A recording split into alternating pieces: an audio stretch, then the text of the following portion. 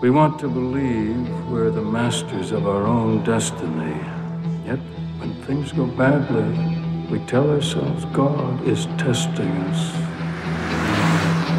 We need to get back on the highway. Here's us. Seems like a straight shot. You still got some mean curves. I can handle a few bad stretches. There's bad stretches and there's bad stretches. Just get in the car.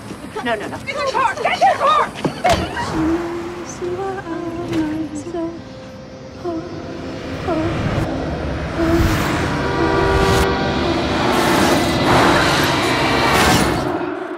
Everybody okay, Jacinta? Toby okay? What happened? Something in the road. I hit it. Tonight. Where are we? We lost. We should have never gotten off the highway. This road is a trap.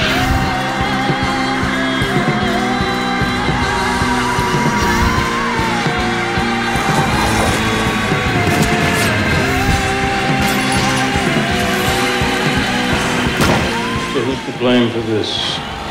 God or the devil?